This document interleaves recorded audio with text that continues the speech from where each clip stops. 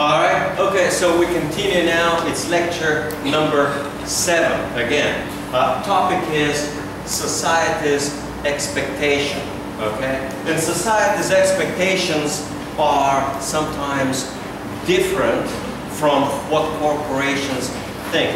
Sometimes corporations think that they have no responsibility whatsoever.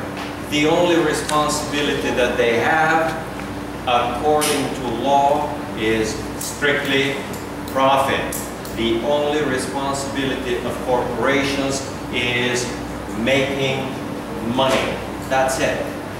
However, sometimes society believes, sometimes correctly, sometimes incorrectly, that corporations have responsibility, that they have responsibility to build infrastructure, like build roads, uh, sometimes responsibility to take care of the community, that they have responsibility to keep the environment clean.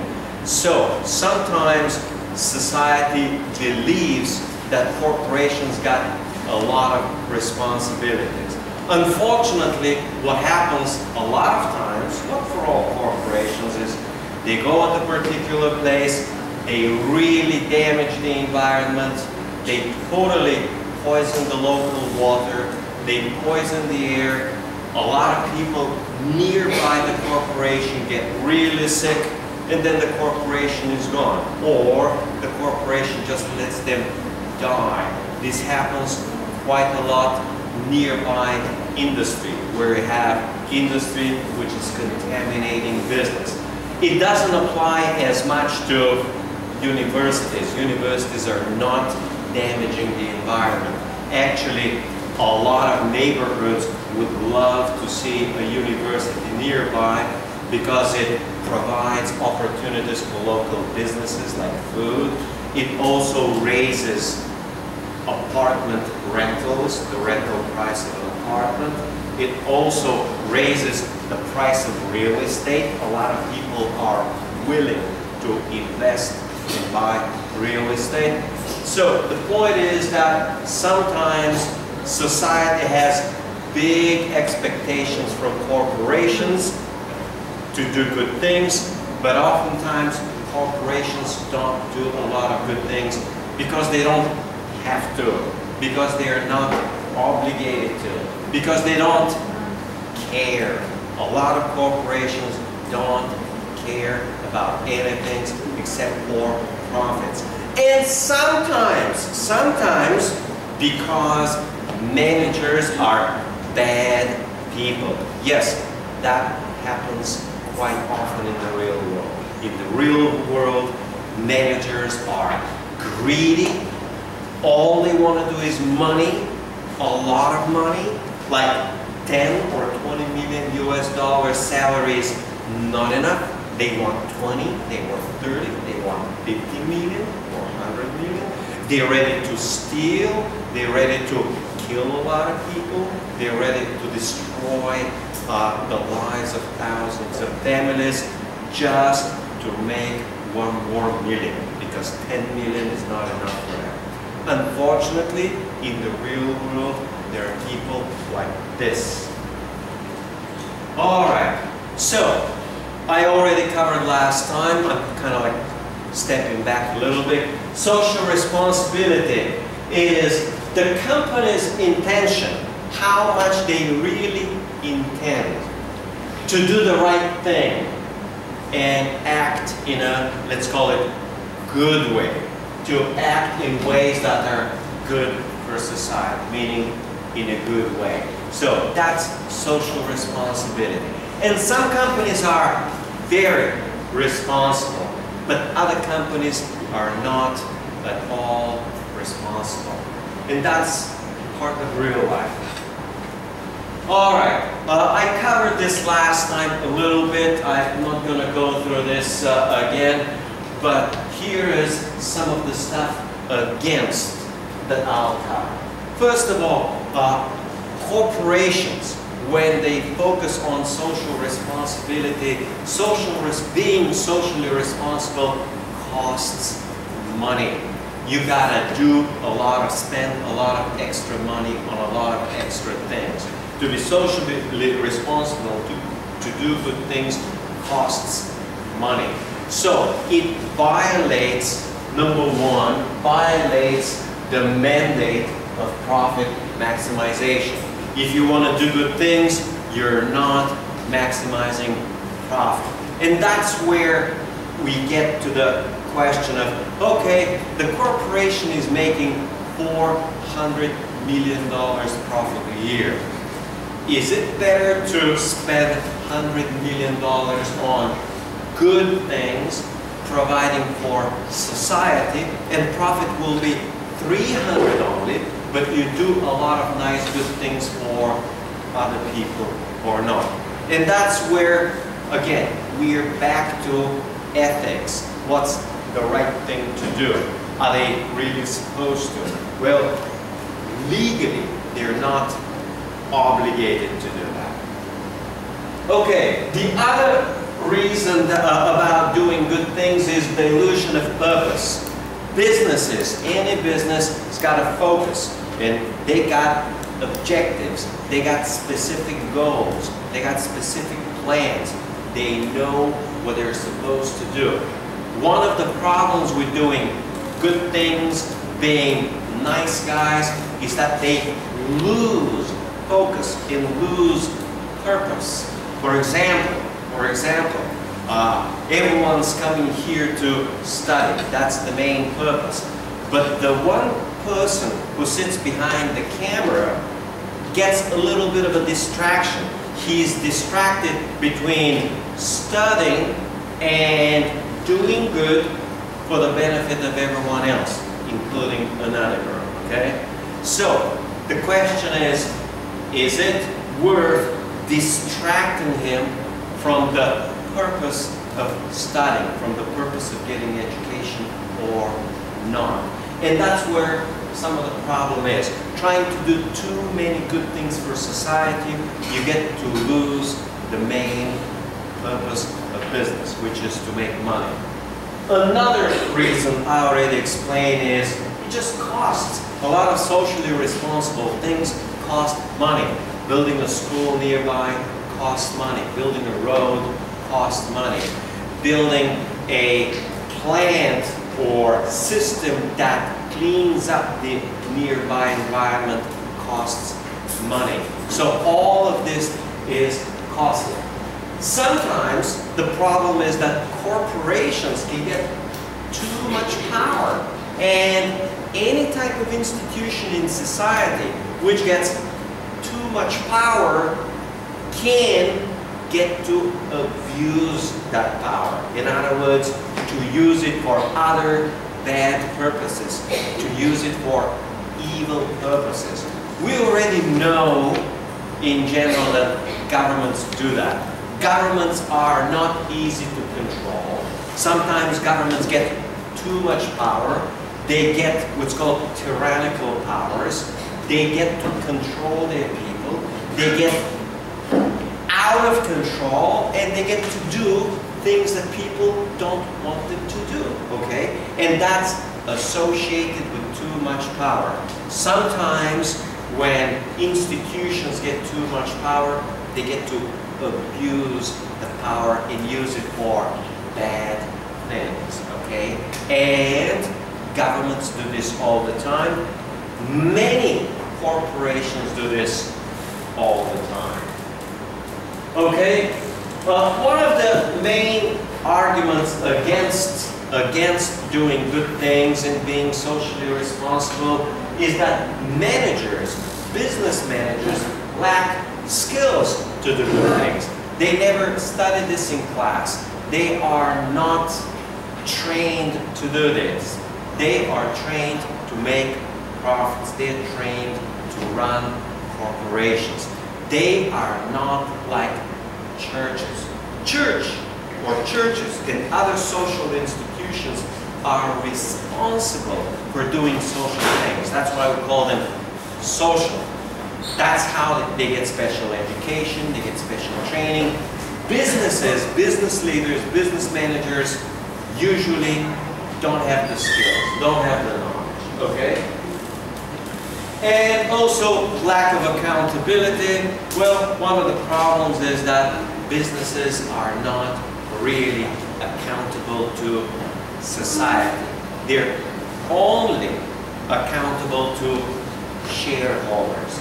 And the only major accountability is profits, generating profits, a lot of profits. So, these are some of the arguments that corporations should not get too much into social responsibilities, doing good for society, and all of those things. Of course, there are many more good reasons why they should be. And one of the good reasons is that they should just be good people, okay?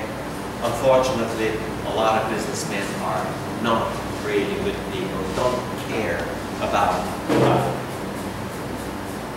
all right, I covered a little bit last time quickly about sustainability.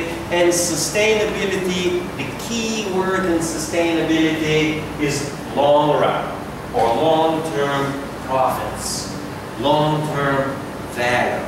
So sustainability means doing things in a way that you can continue to do them in the long run and generate the same type of profit. A simple example of unsustainability in life is shooting drugs like cocaine. You do a lot of drugs, you can't do this for 10, 20, 30, 40 years. You're going to die very soon. It's unsustainable. Another example of unsustainability is trying to make too much profit in the short run and not investing in the long run. So the problem with sustainability is that it requires to think ahead, to think for the future, to sacrifice, to sacrifice short-term benefits and short-term profits for the benefit of the long run. And a lot of times businesses are pressured too much to focus too much on the short term and sacrifice the long term. Uh, example will be, or example will be, what happened in Japan with Fukushima. Uh, it was known in advance that some of their systems were vulnerable. And if, if these people were thinking in the long run, they could have made some further fixes so that we did not have this complete disaster. That will be a simple, short-term step to ensure, we call it, the sustainability of the nuclear industry in Japan. Okay? So, sustainability involves doing things the right way and thinking far ahead in order to make sure that 5, 10, 15 years from now will be okay. Another type, not in business, strictly in personal life, in personal life about sustainability is getting more fat and more fat and more fat and more fat, okay? We call this in English obese. Well, that's clearly, and a lot of people know it. I mean, it's not a rocket science that this is unsustainable. You're not going to be able to live a good, productive, healthy life. You're not going to have, if you are already 110 kilograms, like many te teenagers are in the United States. Many teenagers are already in the United Kingdom. So being totally fat is unsustainable. By the age of 20 or 25, fat people already have a whole bunch of diseases. They got a whole bunch of health problems. With health problems, they get more to hospital, can't work more, sooner you get financial problems. Later on, you get personal problems in your life. So health problems get complications into personal life, get complications into professional life, get a whole bunch of complications. So what does in this case mean sustainability? Sustainability will mean two things in personal life. It means better diet. You eat less, you eat higher quality food, and more importantly, number two, you exercise. Again, whether you like it or not, it is a cost. It is an effort. It's something you gotta do to keep a sustainable long-term life. Meaning that by the age of 40 or 50, you have a good life, you're okay, you're healthy. So that's what sustainability means. Sustainability requires extra investment and extra cost. And many businesses are not willing to do it. Okay? Sustainability requires investment. In your case, sustainability means you study every single class. You come to class, you study, you prepare regularly so that you get a high quality education, make a good progress. All right, factors that lead to ethical and unethical behavior in organization. Okay, set of rules. Okay, let's do this. What is ethics? Ethics is a set of rules or principles a set of rules, a set of principles that define right and wrong. Essentially, it defines good and bad, okay? It's about right and wrong. It's about good and bad. All right, let's ask a simple question. Suppose you don't exercise on a regular basis? Does it make you a bad person? Well, what's the answer? The answer is, it depends on the ethics. It depends on the point of view. It depends, are you Muslim? Are you Christian? Are you French? Are you British? Oh, it depends. Are you 20 year old or 95 year old? Okay? It depends whether you're Japanese or African. It depends whether you're highly educated or you're some dumb farmer. Actually, most farmers aren't dumb at all, okay? So, the point is, you can't simply say, oh, he is not exercising, that's really bad, okay? It's bad, but from which point of view? From which judgment, you know? So, ethics requires a judgment. The most common basis for ethics is religion. Christians have one basis of ethics. Jews have a somewhat different. Of course, Buddhists have a different, Hindus have different, Muslims have different. And it's very important to understand that ethics, similar to morals, can be okay in one culture, meaning it's okay, it's good, it's right, no problem, and can be really bad or wrong. And that's for you very important to understand. And you know, you see this all the time with foreigners. Foreigners think that some, doing something is okay because they've always done it in the West. You look at it here and you judge them for being bad people or doing wrong things or things which are not right or not acceptable, okay? Without understanding really what's right, what's wrong. Same thing for us. We foreigners, when we come to a foreign country, like I've been here for, was it, one month and two or three days, okay? and I come and I do things pretty much the Western way, the way we've always done it, okay?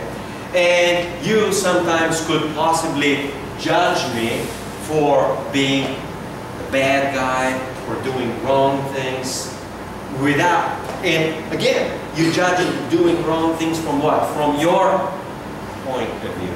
So, ethics means a particular point of view, your point of view, okay? An example of a point of view is, I do something most of you don't like, but for that guy from Germany, it's okay. He doesn't notice the difference, okay? Because he comes from, in this case we say, different culture. Hello? Different culture. So, ethics is based on religion, is based on nationality, is based fundamentally on culture, is based also on age. You don't expect a two-year-old little baby, right, to do the right things. Oh, and yeah, I mean, two-year-old, he, he wants to play, he doesn't really care about it. You don't expect a two-year-old child to have morals, okay? Well, here's another example.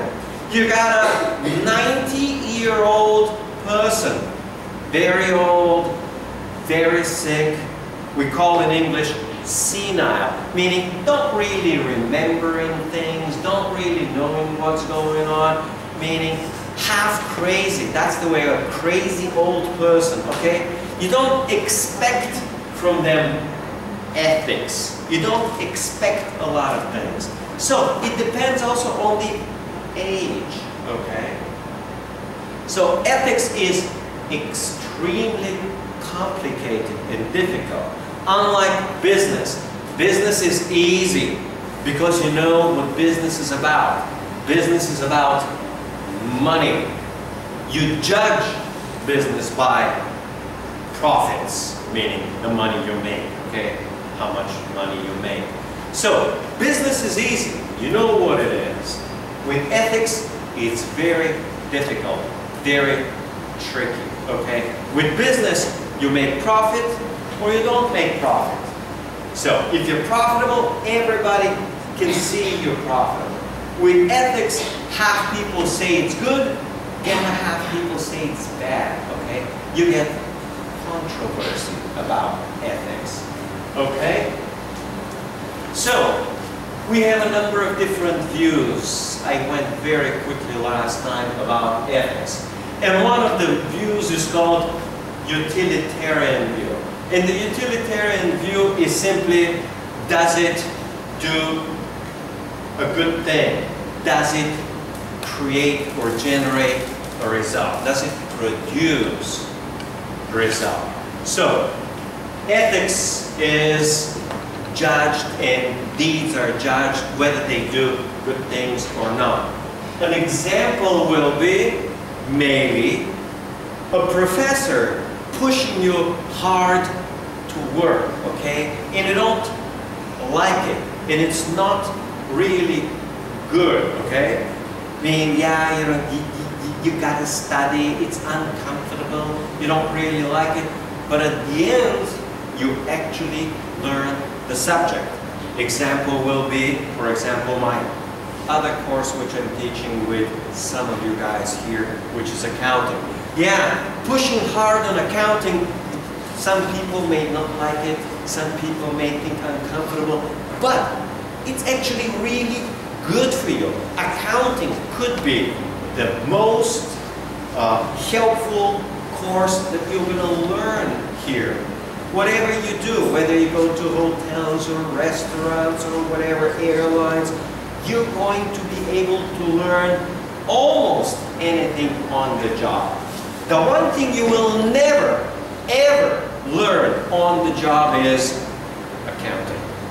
You can't learn accounting on the job. It just doesn't happen. It's not going to happen. You will need classroom, you will need a teacher, you will need a textbook, you will need a lot of time to read through the textbook, you'll need to understand, you'll need to do the exercises, you'll need to have an exam, a grade. Uh, the two of you guys on the back, hello, the two of you, just separate one meter from each other, okay? You've been playing for way too much that little toy, okay? No, separate, separate, just a little bit more. Okay, that's good thank you. All right, what is it now? Kid stuff. So, uh, uh, uh, this is again about feedback. According to local culture, is it okay to just to separate them a little bit? In our Western view, according to Western principles, we say, get the hell out of here, okay? And we kick him out of the classroom, okay? And that will teach him a lesson, a good lesson, okay? So, but is it okay to do this here? Yeah, you see, maybe, maybe not. Depends. If it's a guy, yeah, he can, you know, right? So you see, it's a judgment, and that's very, very difficult to do. So the utilitarian view says, yeah, we gotta kick him out of his room because it's going to have an effect. It's to teach him a good lesson, even if it embarrasses him in front of the rest of the class, okay? Even if it embarrasses him, it's okay because the result will be he's not to talk again, okay? So the utilitarian view says it's okay to embarrass somebody, okay? It's okay to make them feel bad. In our Western culture, it's okay to fail a student. Yeah, give them F. Let them come again for the class. It's going to teach them a lesson, okay? So this is the utilitarian view and Western culture is okay with it, okay? Because Western culture is focused on results. It's focused on outcome. It is not focused on feelings, okay? It's not focused on to hurt somebody's feelings is not okay. Yeah, it's not okay, but the question is to generate a result. And the result is education. Another type of view of ethics, again, this depends on, you know, the mentality. For example, I gotta ask now the dean, well, for those people that really give me blank exams, do we just give them a little passing grade or just fail most of them, okay? Well, that's again, partly utilitarian type view. The rights view of ethics is about protecting individuals' rights. Individuals' rights are different according to, again, legal system, according to culture, according to environment. In the Arab and Muslim world, men have very different rights than women. Women have very, very, very few rights in those in that world. So, rights depend on society. In America, supposedly people have lots of rights. It depends on the legal system, depends on the law, but rights also depend on the court system. Sometimes people do have rights by law, but when you go to the court, you cannot enforce your rights, okay? So the question is like this. Rights. Does this guy over there on the back who keeps talking have the right to education? Does he have the right to stay in class? Well, remember, he's already paid tuition, right? If he's paid tuition, he's got the right to stay. Well, but does he have the right to stay if he's talking, all right? So, in other words, if he's a disturbance in class, so the question about rights is what happens when somebody's got rights but possibly or the rights of others are violated, okay? So he has paid, has the rights to stay in class, okay? But she has paid too. And she's got the right to proper education without that guy just keep playing and talking and disturbing, okay? The right to good education without disturbance from somebody else. So, the rights view of ethics says that people have certain fundamental and legal rights which cannot and should not be violated. In other words, ethics is about protecting people's rights, okay? And doesn't care about feelings, okay? You feel good, you feel bad. No, people got certain rights, okay? Like one of my own rights here is to be in charge, to manage the classroom and to manage classroom discipline, okay? So now we got a conflict. The conflict between my right to manage discipline and his right to be in class, okay? And that's there's a conflict.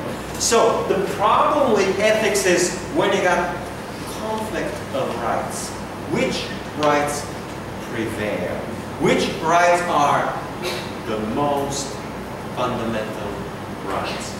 Okay, and finally, the last one is called theory of justice.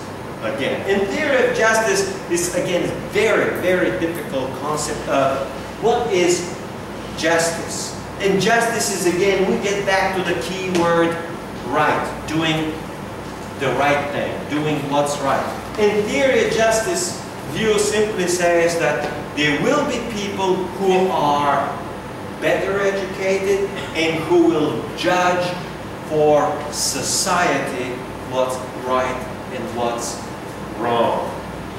So, people with better education who will be looking over for the benefit of society and will be judging right from wrong based on society and social need.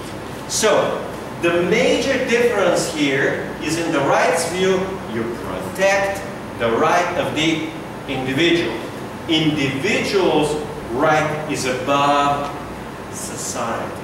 In this view, it is society's right or society's benefit dominates individuals' rights. Okay?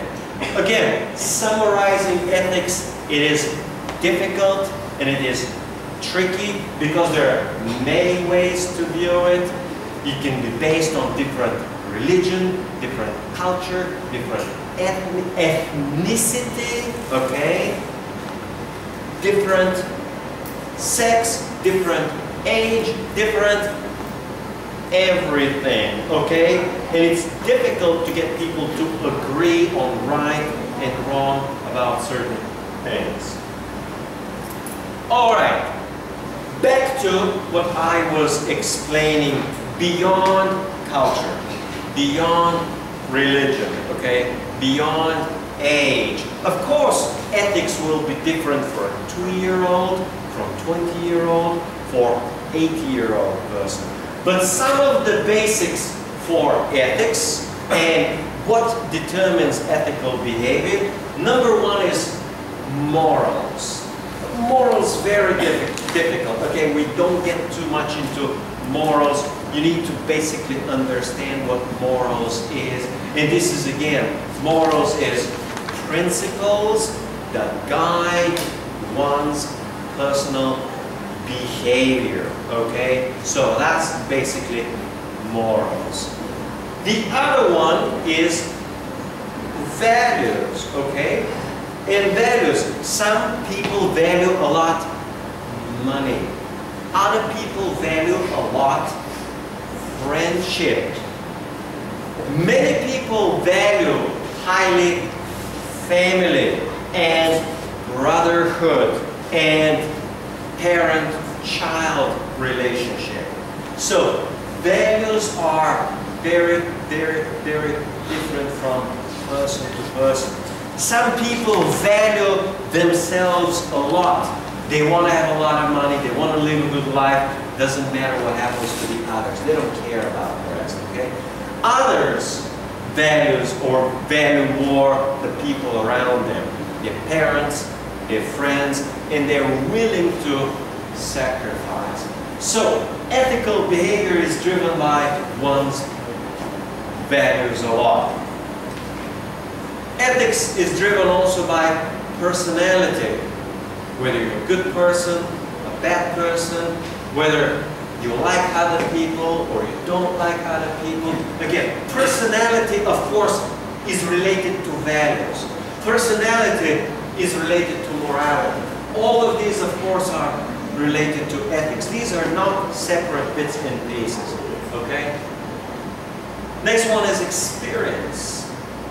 Again, I mentioned, you will have a seven-year-old child will have one type of experience and one ethics. A 20-year-old child's going to have a very different from 40-year-old, from 60-year-old, okay? Experience, someone 40 years old who's been a housewife, cooking at home all of her life, is going to have one experience. Someone who's been around the world, working in 10 different countries for 25 years. For example, think of a sailor who's been sailing on ships and being in 60 or 80 different countries, okay? And he, who has worked for the Japanese and the Chinese and Americans and the British and the New Zealand, okay? So he's worked for ships of 10 different countries, has visited 60 or 70 different countries. That person's experience is totally different from Chinese girl who was born in a Chinese village all he knew in her life from a little childhood is cooking, cooking, cooking. She gets married at the age of 14, a few more children, and then staying at home and cooking. That's a completely different experience, okay? That will determine very different ethics. Again, I'm not saying this one is bad and this one is good or the other way around because saying, oh, this is good and this is bad, right? Because very easy to attempt to ask you, which one is better? The sailor who's been, you know, in 100 different countries or the girl that's been staying at home all of her life, okay? And again, depends on the judgment, on the point of view. Depends on your ethics. If you're a moral person about let's say, family values, so you value family a lot, it may be that that girl that's taking care of her family is a better person to judge than someone who's been around the world, okay? It depends on the point of view. It also depends on the organization's culture within businesses, within corporations. A particular business will have a particular culture. So, a lot of times the ethical behavior will be shaped. Once you work for two, three, four years in a particular environment, the environment changes you. It changes your personality, it changes your experience, it changes your values, it changes your morality, and eventually, or effectively, it changes your ethics in general. And sometimes ethics depend on the issues that face. For example, you got a war, uh, you have a child that's bleeding, you need particular medical supplies, okay? And you don't have the money to buy. And if you're a father, sometimes you're just you have to do what you gotta do, and that's get the gun and go to the pharmacy and say, I need this, this, and this for my child, and I don't have money to pay, and I gotta get it one way or another, okay? So, sometimes the circumstances you're in can change your behavior. When people are in desperate need, okay? Whether it's financial, health-wise, their life is under a threat, they can change their ethics for a while, temporarily. Okay? So, all of these are factors which determine ethical behavior. And each of these can change over the years, okay? People are not static. They don't have the same behavior. More, more, more. No, no, no. A lot more. Okay? A little bit more, just to be safe, okay? A little bit more. Yeah, next time. Okay? You warm. Okay, so corporations should encourage ethical behavior, okay? And one way to encourage ethical, well, they should, ideally. Some do, others don't. Some care, many don't. And one way to do it is just a simple code of ethics, okay? Uh, right now, as a brand new employee in this particular institution, I have not yet received a code of ethics. They haven't told me the code of ethics, but I presume it's I shouldn't be lying, I shouldn't be cheating, I should be treating all students more or less equally, okay? So, I already have a very, very good idea of what should be my code of ethics based on a significant experience. Although we should be typically alerted as to the specifics of this institution. Okay, in this institution we encourage you to do this, this, and this, and not do that, okay? Uh, sometimes when we have a student who's performing really well. We usually fail them. Well, what, happens if the student is sick, obviously sick, okay? He's got some real health problem, you can see they got a special skin disease, okay? And you see, and they just keep itching all the time, okay? But, you know, they're not uh, uh, damaging anyone's other's health, okay? So they're okay, but they got health problem, okay? Do we just fail them or we don't fail them, okay? It's easy to fail the lazy student who just doesn't do anything. But that kid is trying, he's a good kid, okay? But he's just sick, he's got some health problems that he, it's easy to see, okay? For example, someone can break their leg and they have difficult time coming to class, okay? So they miss the last three, four, five weeks, okay? So these are ethical behavior we punish the lazy kid, we just give him F. But what about the good kid who broke his leg or has got some other health problems?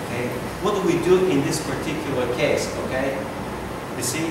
Uh, so these are ethical issues which we should typically get a code of ethics. But if we don't get a code of ethics, I make a judgment and I usually just go and ask my boss, hey boss, is a kid, is whatever the story is, and you know, usually if there's a health problem, some other issue, uh, what, what, what, do I do? And my boss will say, well, do this or don't do that, or she's to say, well, let me ask my boss, okay? So, code of ethics usually tells you what's right and what's wrong, the things to do and the things not to do. It should also provide ethical leadership. Managers should simply provide ethical leadership. And there should be some basic offering, uh, offering for basic training. Okay, businesses should do some basic training. Okay, let's see. Ethical training. Some corporations do it. Most corporations don't. Ethical training costs money. You don't want to waste money on ethics, okay? Where you're supposed to make money. You know, just training ethics is just too much waste of money, okay?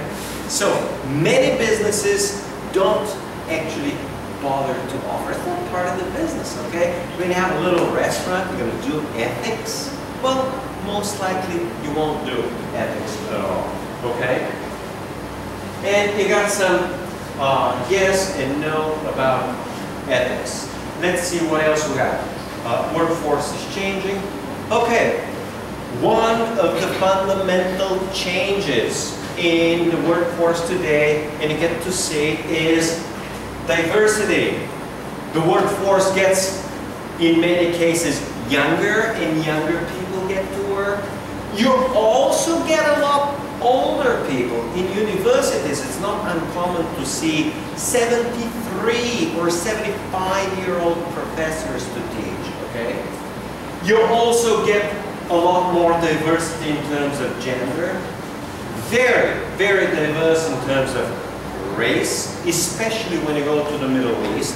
When you go to the Middle East, you got Africans and Europeans lots of Asians. You get all sorts of races.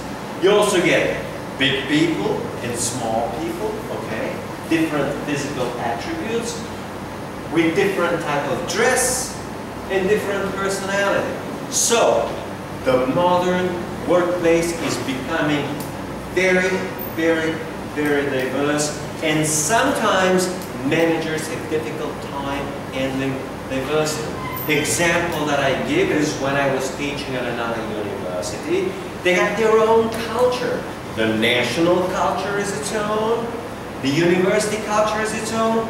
They did not tolerate diversity, okay?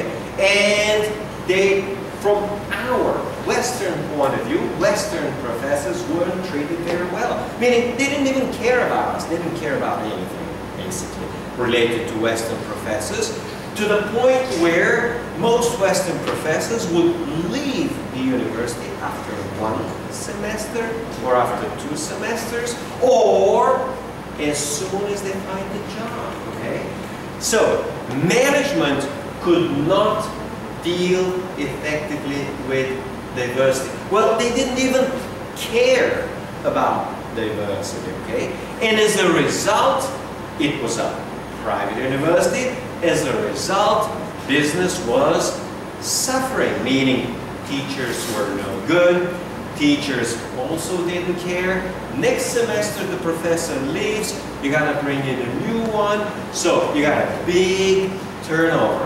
Every semester, one-third of the professors leave and they bring in, so big turnover provides for unstable environment. So, diversity. You also got a workforce diversity, that's fairly straightforward. The types of diversity, age, gender, race, ethnicity, disability. Also, religion, religion is very different in the Middle East. You got lots of Christians, lots of Hindus, lots of Buddhists, Muslims, okay? Well, you don't get very many Jews, but that's a different topic altogether. But you got a lot of religions and so on. Continue. And which are the problems, professional problems today?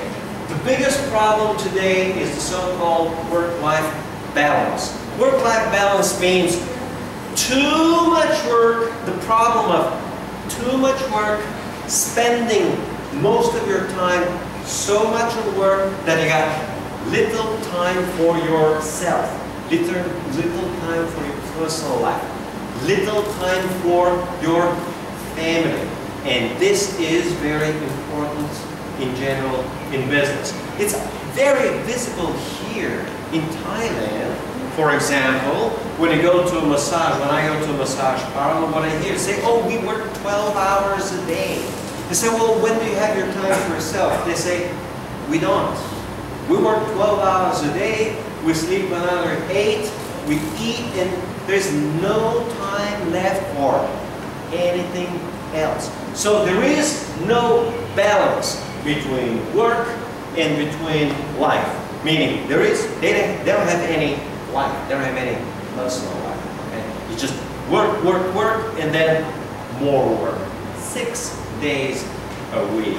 Okay, that's not too different in major U.S. corporations. In major business and corporations, when you gotta work, you work also on Saturday, and you work also on Sunday. You're gonna be working seven days a week, maybe 10 hours, maybe 12 hours, maybe 14 hours, and that's one of the biggest problems. Another major change in the workplace is contingent workforce. I was a contingent worker. Contingent means only if things change, only if there is a need. Example is when I was going back home, I was teaching as a visiting professor in Macau. And I was a visiting professor, contingent worker. If they need me, they call me. I get on the plane and go and teach, okay? And if they don't need me, they don't call me, okay? So I'm basically on call, okay? And I usually don't have any other work. I just stay at home, do my things, whatever I like to do. So they send me an email, hey, can you cover this course? I said, sure. Uh, on this, from this to this date, I said, okay. I arrange for my airplane ticket and just get there. And that's it. That's all the rest of it. That's contingent workforces. And finally, there are major, big differences from generation to generation, both in terms of morals, in terms of ethics, but also in terms of technological capabilities, in terms of skills related to computers, to Google, to searching, to all sorts of other things. All right, let's finish with this chapter today. Uh, take about 10 minutes and then we continue. Camera.